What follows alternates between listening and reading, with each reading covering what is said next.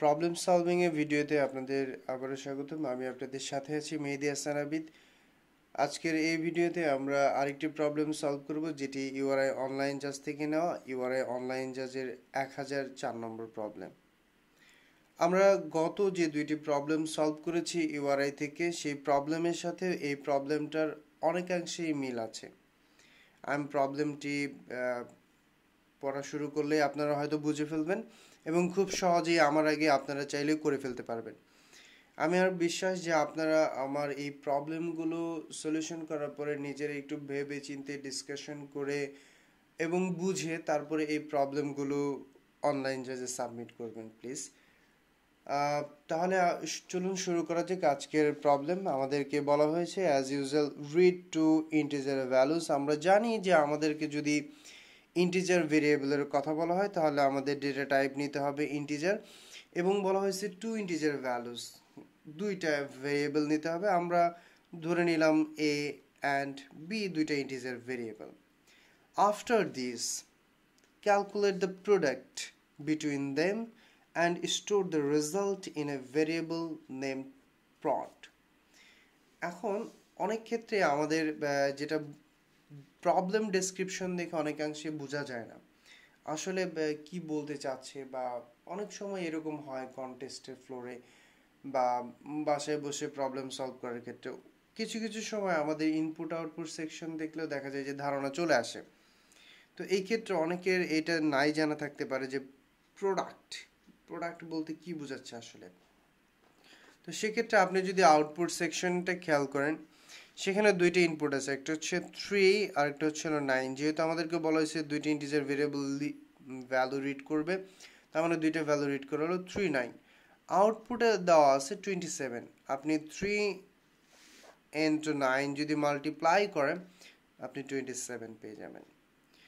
দেওয়া আছে minus thirty and ten যদি আপনি এই দুইটাকে মাল্টিপ্লাই করেন, তাহলে আপনি পেয়ে যাবেন মাইনাস থ্রি হান্ড্রেড দেওয়া আছে জিরো অ্যান্ড নাইন আমরা জানি জিরোর সাথে যে কোনো কিছুই গুণ করা হোক না কেন আলটিমেট রেজাল্ট সেটা জিরো আসবে। তার মানে প্রোডাক্ট বলতে এখানে যেটা বোঝাচ্ছে সেটা হচ্ছিল দুটো সংখ্যার ভিতরে গুণ করা। After this, calculate the product between them and store the result in a variable named prod. আমাদেরকে এ এবং বি গুণ করার পরে একটা ভেরিয়েবল রাখতে হবে যে ভেরিয়েবলটির নাম হচ্ছে prod print the result like the example below as usual যে, যেরকম দেওয়া আছে রেজাল্ট বিলো যে আপনাকে অবশ্যই মেসেজটি প্রিন্ট করার সময় প্রডের পরে একটি স্পেস ইকুয়াল সাইনের পরে আরেকটি স্পেস দিতে হবে। Do not forget to print end of line after the result আমি জানি আপনারা জানেন এন্ড অফ লাইন বলতে এখানে কি বুঝেছে। Otherwise you will receive presentation আমরা প্রেজেন্টেশন এরর খাব না। I am very much confident যে আপনারা জানেন যে প্রেজেন্টেশন এরর কেন দেয় এবং সেটা অবশ্যই মাথায় রেখেই প্রবলেমটিকে সলভ করবেন the input file contains two integer আমাকে দুইটাই ইনপুট নিতে হবে। আউটপুট সেকশনে বলা হচ্ছে print prod according to the following example with a blank space before and after the equal sign আমি জানি এটা আপনারা জানেন।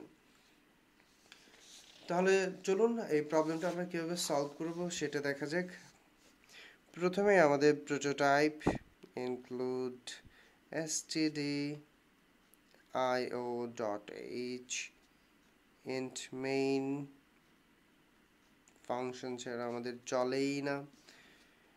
দুটো ভেরিয়েবল তিনটা ভেরিয়েবল লাগবে আমাদের এ বি এবং প্রড যেগুলো আমাদেরকে বলে দিয়েছে। আমাদেরকে দুইটা ভ্যালু স্ক্যানএফ করতে বলা হয়েছে এবং দুইটাই বলে দেওয়া আছে ইন্টিজার আমরা দুইটা percentage D percentage D memory allocation sign A B লিখে ফেললাম।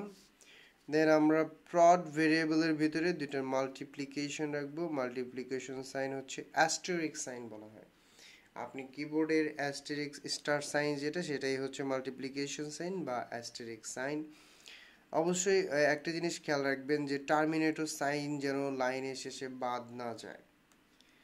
দেন আমরা রেজাল্টটাকে প্রিন্ট করব রেজাল্টে রাখা আছে প্রডের ভিতরে প্রিন্ট এফ আমরা প্রডকে প্রিন্ট করতে যাচ্ছি ব্যাক স্ল্যাশ এন ও সরি এই ক্ষেত্রে আমরা ভুল করতেছি। কারণ আমাদেরকে বলা হয়েছে একটা মেসেজ প্রিন্ট করতে প্রড আমরা এই প্রড মেসেজটাকে অবশ্যই দিতে হবে। তাহলে আমরা লিখে ফেলি প্রিন্ট এফ ক্যাপিটাল লেটারে বলে দিছে প্রড ইকুয়ালস টু এখানে একটা স্পেস ব্ল্যাঙ্ক স্পেস আবার space percentage D backslash N এখানে আমরা লিখব প্রড এই ভেরিয়েবলটা ব্রেকেট ক্লোজ রিটার্ন জিরো খুব সহজে আমরা প্রবলেমটা সলভ করতে পারলাম। আশা করি আপনারাও একটু বুঝে তারপরে অনলাইন যা যে এই প্রবলেমটাকে সাবমিট করবেন, যাতে একটা প্রবলেম বুঝলে সুবিধা হচ্ছে, পরবর্তী বাকি প্রবলেমগুলো সলভ করতে খুব সুবিধা হয়। সো আজকের ভিডিও এ পর্যন্তই, ধন্যবাদ সবাইকে এ পর্যন্ত সাথে থাকার জন্য। যদি ভিডিওটি ভালো লেগে থাকে, তাহলে অবশ্যই বন্ধুদের সাথে শেয়ার করতে ভুলবেন না। আর পরবর্তী আপডেটের জন্য আমাদের সাথেই থাকুন। ধন্যবাদ সবাইকে।